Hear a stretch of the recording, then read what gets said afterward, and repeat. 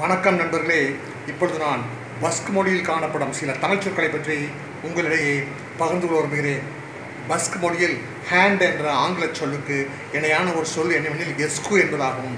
இஎஸ்கேயு எஸ்கு என்ற பஸ் சொல்லில் சா கா போன்ற கன்சோனன்ஸ் உயிர்மை எழுத்துக்கள் காணப்படுகின்றன.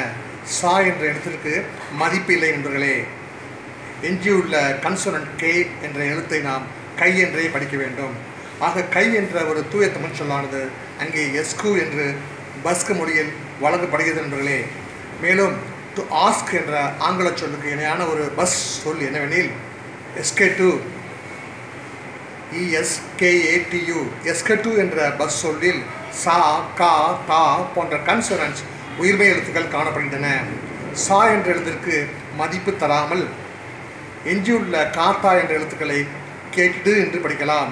கேட்டிடு என்று நான் படிக்கும் பொழுது எஸ்கட்டு என்ற சொல்லிலுள்ள தா என்ற எழுத்தை நான் ஒரு முறைக்கு மேலாக பயன்படுத்துகிறேன் நண்பர்களே. எஸ்கட்டு என்ற பஸ் சொல் கேட்டிடு என்ற தமிழ் சொல்லியாக நண்பர்களே. சா என்ற எழுத்திற்கு மதிப்பு தந்தோம் என்றில் எஸ்கெட்டு என்ற சொல்லை கா ஈக்குவல் டு வா வா ஈக்குவல் டு கா என்ற சூத்திரத்தின்படி உசாவிடு என்று படிக்க வேண்டும் நண்பர்களே. The Tamil word for hand is kai. It is there in Basque language as esku. The Tamil word for to ask is ketdu. It is there in Basque language as eskatu. Thank you friends. நன்றி நண்பர்களே நாம் மீண்டும் சந்திப்போம் வணக்கம்